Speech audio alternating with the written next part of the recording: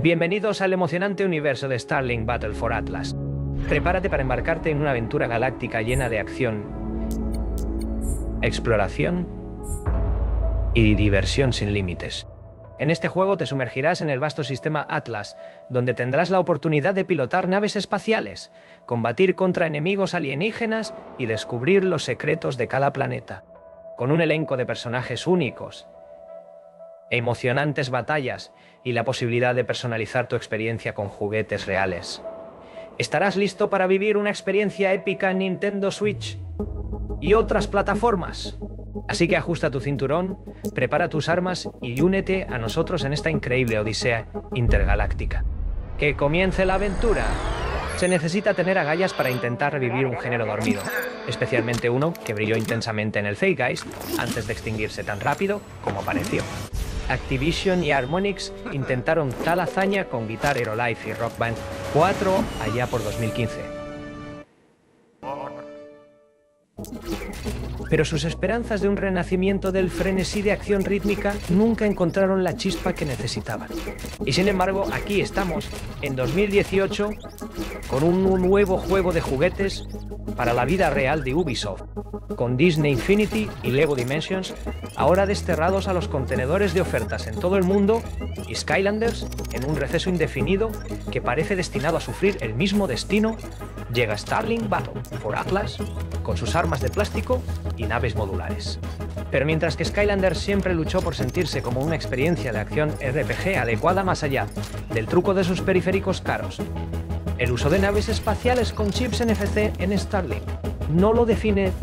De hecho, la necesidad de depender de estos artículos físicos es completamente opcional, pero las diferentes versiones disponibles para comprar sí, que complican un poco las cosas en cuanto a lo que realmente obtienes. El, pack de inicio, por ejemplo, solo te permite jugar como dos pilotos, afortunadamente uno de ellos es nuestro chico Fox McCloud y con dos naves. La versión digital estándar desbloquea más, pero naturalmente sin los juguetes, y la versión digital deluxe desbloquea todo desde el principio de nuevo, sin juguete. Afortunadamente resulta ser una mezcla atractiva y gratificante de combates aéreos y exploración espacial, aquí mismo en Nintendo Switch. Además de una cierta cosa llamada Star Fox. En la práctica, es lo que No Man's Sky debería haber sido cuando se lanzó en 2016. Un vasto sistema planetario abierto de planetas, campos de asteroides, puestos de forajidos y secretos cósmicos. Puedes mantener presionada la tecla R para entrar en hiperimpulsión en cualquier momento. mientras estás en el espacio y de inmediato te deslizarás a través de mantos de roca espacial. Atravesarás la atmósfera de un planeta y aterrizarás en su superficie en tiempo real. Sin pantallas de carga ni escenas cortadas a menos que viajes rápido, eso sí, solo la transición de combate-exploración en cuestión de momentos. Nunca puedes salir de tu nave, pero incluso confinado a la cabina de varias naves, el alcance de su entorno evoca una verdadera vibra de más efecto. Impulsado por el motor Snowdrop, el mismo que se usa para Mario Rabbids Kingdom Battle, explorar el sistema Atlas titular es un sueño cósmico. El desarrollador Ubisoft Toronto del famoso Splinter Cell Blacklist ha tenido que hacer algunos sacrificios gráficos notables para hacer que un sandbox de mundo abierto múltiple como este funcione en Nintendo Switch, incluyendo una disminución notable en algunos lugares y bordes rasterizados en varios elementos. Pero ole totalmente la pera un juego con poco retardo. Puede que se vea visualmente inferior a las iteraciones de PlayStation 4 y Xbox One, pero sigue siendo un lugar sorprendentemente vibrante para habitar. Las puestas de sol aún deslumbran con efervescencia ámbar en el horizonte y los planetas cuelgan como cuentas de vidrio en medio de un océano de estrellas, gas y desechos. Los puertos siempre van a tener que hacer algunos sacrificios visuales para funcionar en Switch, pero con cielos que pasan de rojo a azul y distancias de dibujo impresionantemente amplias. Starlink está lejos de ser un contraparte defectuoso de sus hermanos de PlayStation 4 y Xbox One. Las topografías de los planetas a veces pueden volverse un poco repetitivas, solo hay tantos valles rocosos y dunas fluidas que puedes deslizarte antes de haberlos visto todos. Pero cada mundo diseñado a mano, todavía tiene su propio carácter distintivo. Hay siete planetas en total para explorar en un gran sistema planetario, lo que técnicamente convierte a este juego en el mundo abierto más grande de Wii hasta la fecha. Su historia no es la trama más memorable, y es fácilmente el eslabón más débil en la armadura de Starlink. Jugarás como uno de los siete pilotos que se encuentran sirviendo como la única defensa contra los planes fervorosos del malvado Grax, quien, al más puro estilo de villano, está usando un ejército de robots alienígenas conocidos como la Legión Olvidada para conquistar el universo. La historia podría ser bastante cliché en su ejecución, y algunos de los personajes nunca están completamente desarrollados pero afortunadamente el, trabajo vocal es decente. Así que es un paseo, sí predecible agradable. Algo el juego, el aspecto de juguetes para la vida real. Si compras el pack de inicio en Switch, obtienes una nave y un piloto, el Arwing, exclusivo de Switch y Fox McClub. No te preocupes, llegaremos a ese pequeño paquete de alegría en un momento. Una copia del juego, dos armas adicionales y un soporte especial para tus Joy-Cons. Las alas son desmontables, así que puedes combinar las partes de múltiples naves y armas, simplemente enganchando cada parte modular con un pequeño clic. No hay forma de escapar al hecho de que jugar con un control que tiene una nave juguete pegada a él es, al menos durante la primera hora más o menos, bastante incómodo.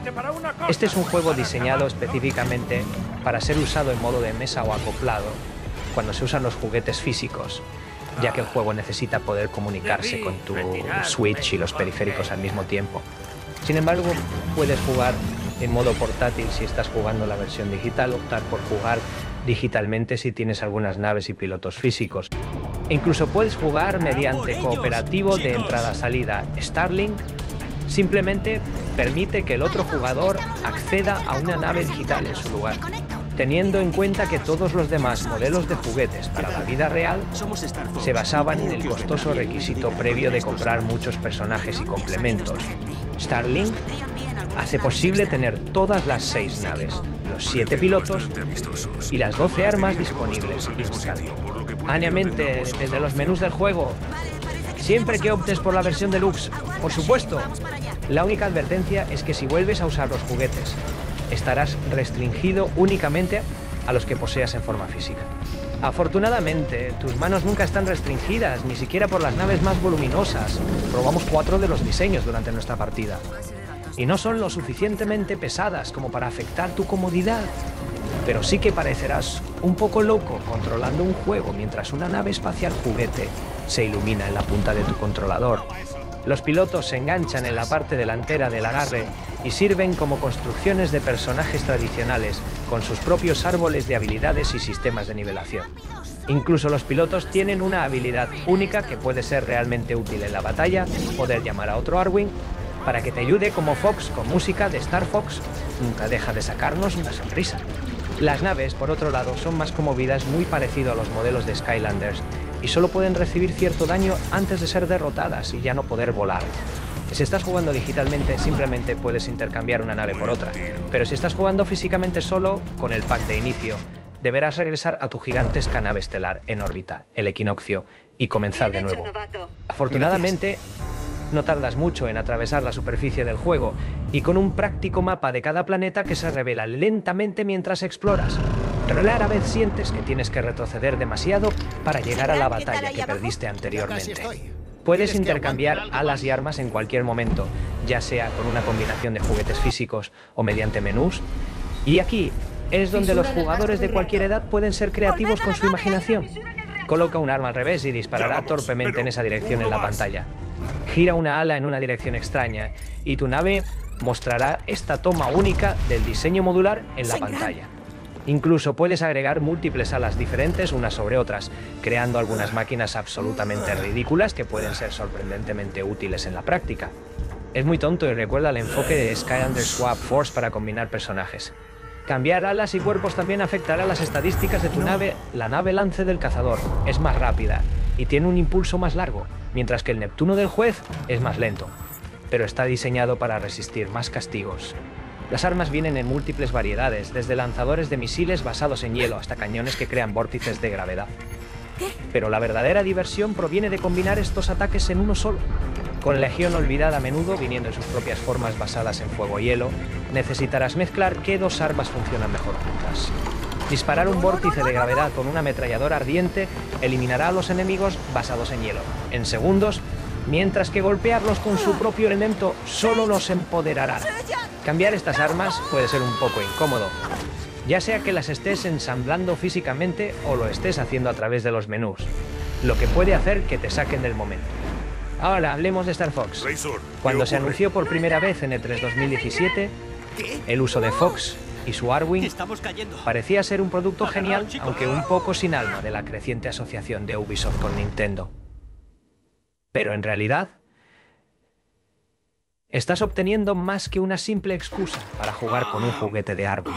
Fox no es solo alguna misión secundaria escondida en un rincón del universo de Starlink como un complemento de DLC. El juego lo teje a él y al resto de la pandilla en la historia principal con diálogos completos y escenas cortadas. Así que puedes jugar todo el juego con él de principio a fin.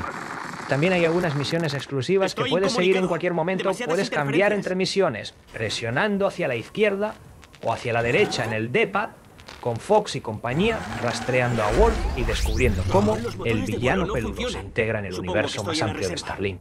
Pero es la manera en que la licencia de Star Fox y los controles suaves de su modelo de vuelo se entrelazan lo que hace que esta sea la versión definitiva del juego. Y con eso concluimos nuestra reseña de Starlink Bait for Atlas. En resumen, este juego nos ha llevado a través de un emocionante viaje a través del espacio, explorando mundos desconocidos, combatiendo enemigos feroces y viviendo emocionantes aventuras. A pesar de algunos tropiezos, como una trama cliché y algunas limitaciones visuales en la versión de Switch, Starlink ofrece una experiencia de juego única y emocionante, especialmente para los amantes de la acción y la exploración. Con su combinación de jugabilidad innovadora, personalización de juguetes y la inclusión del querido equipo de Star Fox, Starlink Battle for Atlas se destaca como un título notable en el género de los juegos espacial. Así que, ¿estás listo para despegar hacia lo desconocido y conquistar el universo? Hasta la próxima aventura, exploradores espaciales. Parece esa nave, la Equinox. ¿Ahora qué? Análisis de enemigo completado. Recomiendo combinación elemental. Los buenos nunca descansan.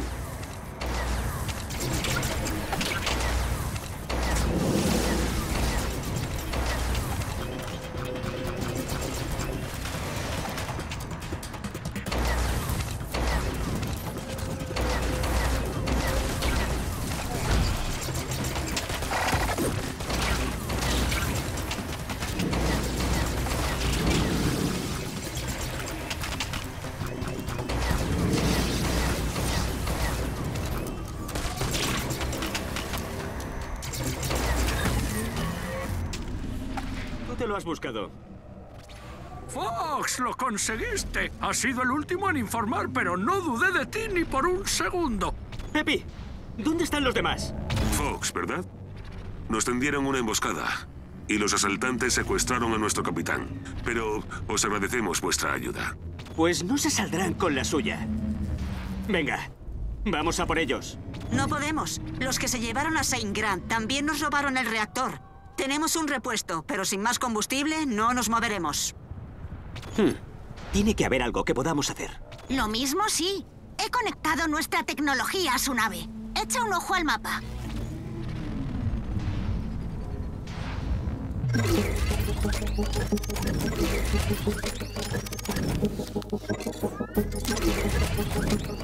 Ahí está tu nave. Deberías poder verlo todo en el radio de escaneo. El resto del planeta es territorio inexplorado, por ahora. Razor, recibo una señal alienígena cercana. ¿Creéis que ahí hay alguien? Vale la pena mirarlo. Consulta el mapa cuando quieras. Ahora no hay gran cosa, pero en cuanto empecemos a explorar, seguro que te vendrá bien. Vale, iré.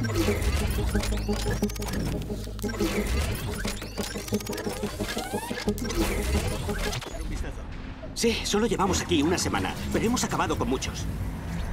No se puede razonar con esas cosas. Son eh, como una plaga. Sí, pues que vengan. Me vienen bien para hacer prácticas de tiro.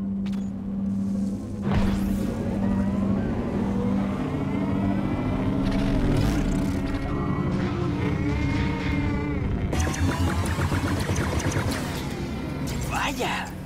No hay nada igual en Corneria. Analizadores de ADN. Pruébalos con ese animal. A lo mejor hay algo en la base de datos.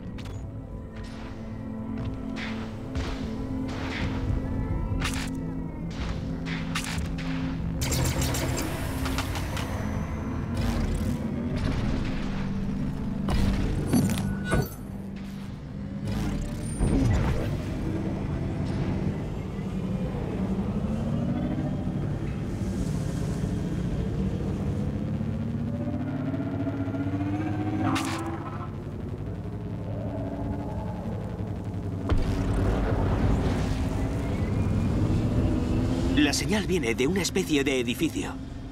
¿Serán amistosos? A ver si hay suerte. Ve a saludar. Te apoyaremos si hace falta.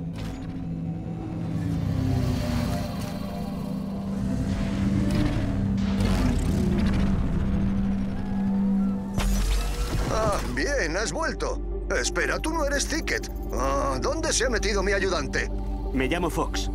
Necesito un poco de combustible. No sé si me puedes echar una mano. ¿Mm? Ah, perdona. Mi ayudante desapareció y me preocupa bastante. No habrás visto a un tipo achaparrado y con hojas por ahí, ¿verdad? No, pero quizá podamos ayudarnos mutuamente.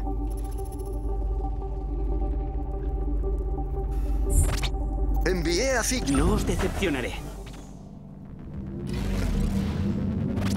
¡Qué amable! Atlas es un lugar peligroso, pero también hay buena gente. Sí, en fin, entonces, ¿qué es lo que os trae por Atlas? Buscamos a alguien llamado Wolf. Cometió muchas fechorías en nuestro planeta, Corneria. Es hora de que pague. No os preocupéis. Cuando salgamos de este planeta, lo encontraremos y nos las pagará. Entendido. Cuando reparemos la Equinox, buscaremos a nuestro líder. Quizá podamos ayudarnos mutuamente. Eh, dijiste que era una colmena de diablillos, ¿no?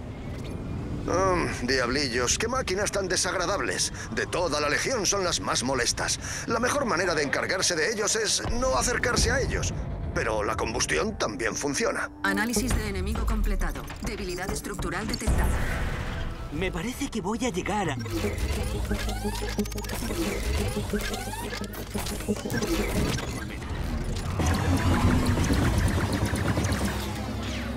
Empieza la fiesta.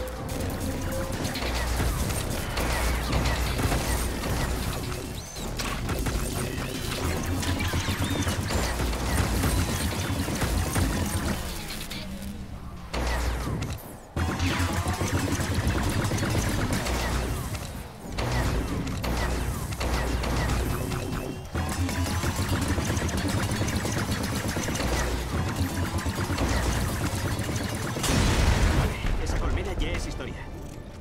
Ah, genial. Adiós a la colmena y a los diablillos. Perfecto. Tengo algo de Electrum preparado, como prometí. Ah, nuestra nave funciona con Nova. ¿Nova? ¿Pero de dónde sois?